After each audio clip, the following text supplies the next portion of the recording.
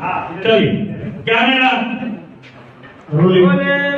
Action सबके सामने हम उस दिन हमारी बहन चीखती रही चिल्लाती रही लेकिन कोई भी उसकी मदद के लिए आगे नहीं आया सकता किसी का ज़मीन किसी की इंसानियत नहीं।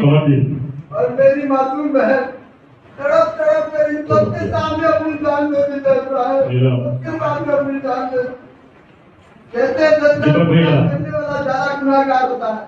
लेकिन गुनाह कर सहने वाला भी उससे बड़ा ज़्यादा गुनाहगार। भैया इस सबने उस गुनाह को दिखाया जाता है। ये सब के सब सजा के हकदार है। सबको सजा मिलना चाहिए। सबको सजा मिलना चाहिए। जजमेंट सुना दो। मुंशी जी का ले लो। जजमेंट जजमेंट हाँ जजमेंट चलो रेडी ठीक है।